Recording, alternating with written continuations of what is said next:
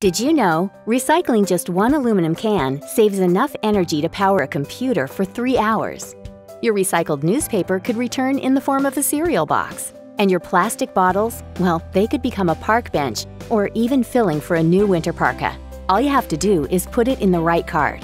Your single stream recycling cart makes recycling easier and improves participation in the program. The Sacramento Recycling and Transfer Station is the high tech facility where it all gets sorted. Sorting all these recyclables by hand would take too long.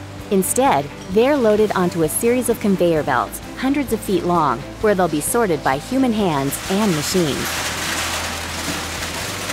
The first thing that must be removed is contaminants like plastic bags and other film plastic, cables or cords. They should not be placed in recycling because they cause the machines to break down. With a cleaner stream, the next task is removing the cardboard. The material is passed over screens that have star-shaped wheels made of rubber.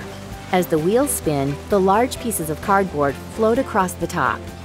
They're set aside to be baled later. Smaller, heavier material falls back down the screen and is split into two new conveyor belts. Four employees on each line feverishly pick through the material, pulling out contaminants like food and diapers. Next, it's time to liberate the glass. A steel screen with 2-inch openings bounces aggressively, forcing small pieces of glass to fall through. They are then carried away to be sorted by a high-tech machine. It uses air jets to remove non-glass material like paper labels, creating an end product that is uniform in size, but not sorted by color. Back up on the conveyor system, the remaining recyclable material is now mostly paper, plastic, and cans. Employees on the container line separate items into similar plastics and metals. They also remove any paper or glass that made it this far. The containers then go through an optical sorter. The machine uses a mechanical eye to identify PET plastic, which is what water bottles are made of. The sorter uses a jet of air to push those items out of the stream as they pass. Now it's time to remove metals from the stream. As the belt passes under a strong magnet, ferrous metals are pulled from the conveyor belt. Non-ferrous metals, like aluminum, are pushed off the belt by an eddy current, which essentially acts in the opposite way of a magnet. We're almost done now. Employees take one last pass at the waste stream, pulling any remaining mixed plastic or valuable material from the residue. The reclaimed materials are compacted into bales, which are available for manufacturers to purchase and turn back into an item you can use. Non-recyclables will be sent to the landfill. But this is just a fraction of the material that's been brought to SRT and reclaimed.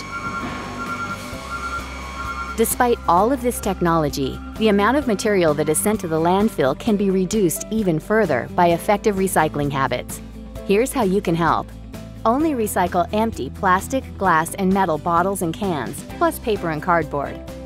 Paper that's been contaminated with food waste, like pizza boxes or dirty paper plates or napkins, can't be recycled. They belong in the trash. Only empty bottles and cans can be recycled. Put foam plastics, like your to-go container, in the trash. Diapers can't be recycled. Go ahead and throw those out too. And the biggest challenge? Film plastic, like shopping bags and plastic wrap. They can shut down a recycling plant like this because they get stuck in the moving parts and gum up the works. To recycle your film plastic items, check with your local grocery store or big box retailer. Many collect film plastic for recycling. You can make a difference by recycling right.